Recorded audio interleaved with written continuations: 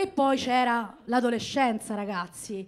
L'adolescenza era quel periodo in cui io mi svegliavo e dicevo, ma sono viva purtroppo. In cui avevo un nemico numero uno, lo specchio. E in cui guardavo ai camion per strada, non con paura, ma con speranza.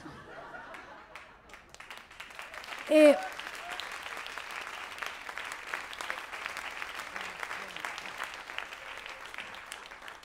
erano insomma quei periodi in cui immaginate io andavo in vacanza al Circeo che è questa località romana molto snob e c'erano tutti questi ragazzi molto fighetti seduti e io invece mi nascondevo dietro i cespugli come se fossi il conto bancario di uno sportivo alle Figi.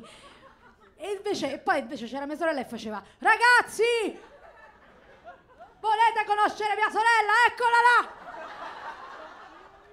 Michela vuoi fare amicizia con questi ragazzi Ragazzi, mia sorella è simpaticissima. Michela, ma per caso ti sei fatta la pipì addosso? E c'ero io che dentro ero marcia come il Tevere. E facevo, sì, sono io ragazzi, sono io la sorella quella sana.